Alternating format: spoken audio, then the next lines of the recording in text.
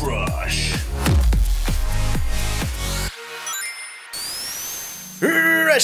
Sejam todos muitíssimamente bem-vindos a mais um vídeo no canal Brush Rush. Meu nome é Guilherme Freitas e hoje eu quero comentar sobre o novo design do Sonic feito para o filme que vai estrear agora em 2020. No dia 12 de novembro, um novo trailer foi lançado mostrando como ficou o novo visual do Sonic depois de uma repercussão imensamente negativa do primeiro design que foi mostrado em abril deste ano. O diretor na época prometeu que iria fazer alterações e eu me propus também a tentar adivinhar como que elas ficariam.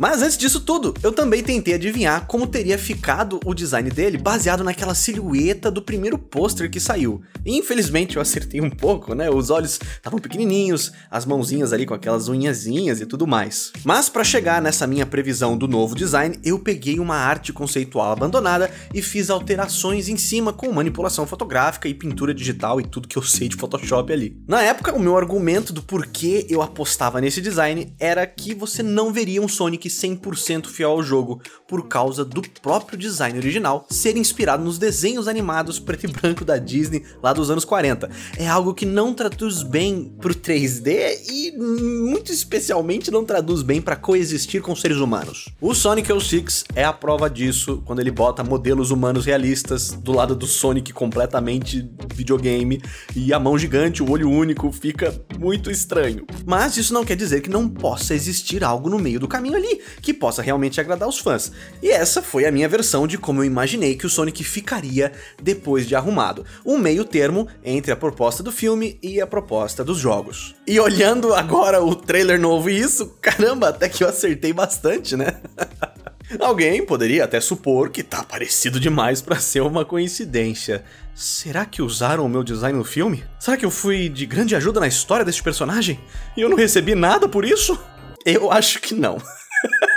Eu só voltei um pouquinho atrás nas próprias decisões de design que eles começaram e deixei mais parecido com o desenho. O olho verdinho mais fino, o formato né, dos olhos mais exagerado e não é tão difícil assim na verdade. Mas o artista Tyson Reese foi a pessoa de fato convidada para ser esse guia e retomar o Sonic para suas origens. Dá uma olhada no trabalho dele aqui, desse design do Sonic e também esse cara é o diretor de uma recente série animada do Sonic, então ele sabia muito muito bem o que estava fazendo. Mas, sinceramente, o que eu fiz também não foi nada muito especial, porque encontrar essa solução visual para o Sonic não era uma tarefa tão complicada, e provavelmente ela apareceu logo no começo, nos primeiros designs conceituais do filme, e depois de inúmeras e inúmeras alterações, acabou chegando naquele desastre lá. Acho que o mais importante é a gente lembrar que efeitos especiais e imagens produzidas por computação gráfica, CGI, não são feitos por robôs, são artistas, pessoas. Na verdade, muitas pessoas, equipes inteiras que são coordenadas por diretores de artes que estão sujeitos, né, por sua vez, às intenções e vontades e ordens de um estúdio maior que está investindo a grana para isso tudo acontecer. Então, nós, como fãs de arte, pintura digital, 3D, escultura, efeitos especiais e tudo mais, acho que precisamos sempre tentar ser muito claros quando falamos mal do primeiro Sonic.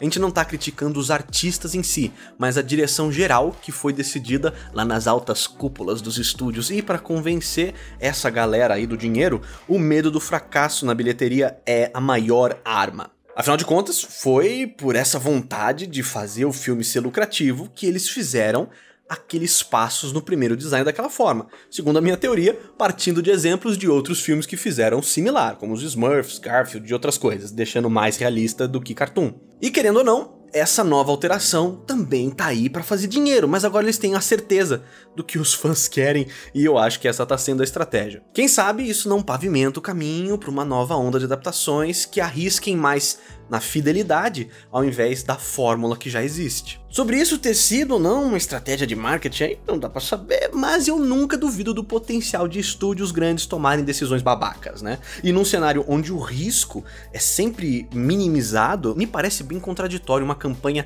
tão arriscada, tão inflamatória. Ainda assim, é uma possibilidade, né? Mas de qualquer forma, o design melhorou, mas o que realmente salvou esse trailer foi o tom e a animação. A diversão e a graça do, do Sonic aqui, né, nos convidam para aquele ambiente onde fica muito mais fácil suspender a descrença, ao invés daquela parada super séria e estranha que tirava a gente do clima. Sonic. Ugh, I can't with that guy.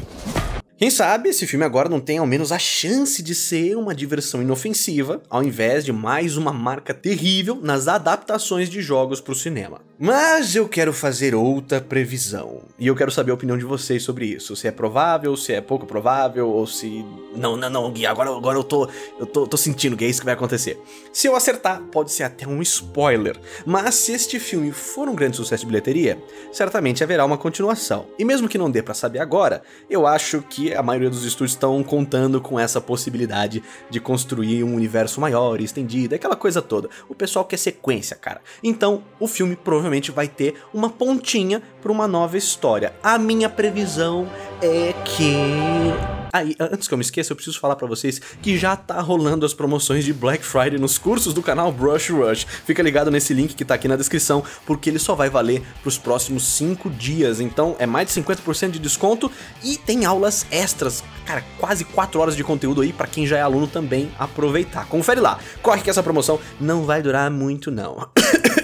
Continuando, eu prevejo que teremos no final do filme o Robotnik ficando preso no universo do Sonic e vão aparecer por alguns instantes outros personagens da franquia. O meu chute é que quem vai aparecer é o Tails. E aí o filme acaba. Anota aí no papel, vamos ver se eu consigo acertar essa. E quem sabe a gente não pode tentar visualizar isso num próximo vídeo também. Tentar ver como seria o design do Tails ou do Knuckles nessa pegada do Sonic desse filme. O que vocês acham? Hum. Mas por isso é hoje, pessoal, eu só queria comentar aqui rapidamente no assunto, porque essa trajetória do Sonic tá sendo muito doida. E eu vou deixar linkado aqui também todos os vídeos do canal que a gente falou sobre tudo isso. A gente se vê no próximo, galera. Muito obrigado. Valeu e falou!